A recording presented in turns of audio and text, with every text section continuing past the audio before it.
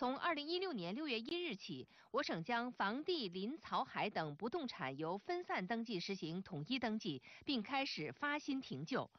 截至目前，全省已办理不动产权证书证明一千四百余万本件。近日，大连移动公司海上 5G 网络建设通过测试验收，实现渤海湾所有航线有效覆盖。目前，大连移动公司已建成六十四个海岛基站，实现长海县十三个有人岛屿 5G 信号全覆盖。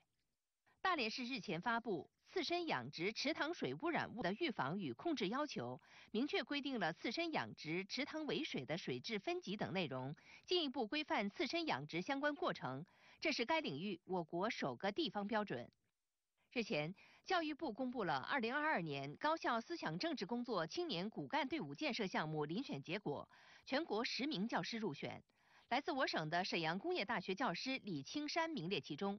此项工作评选旨在重点培养政治素质过硬、理论功底扎实的高校思想政治工作骨干队伍。本台综合报道。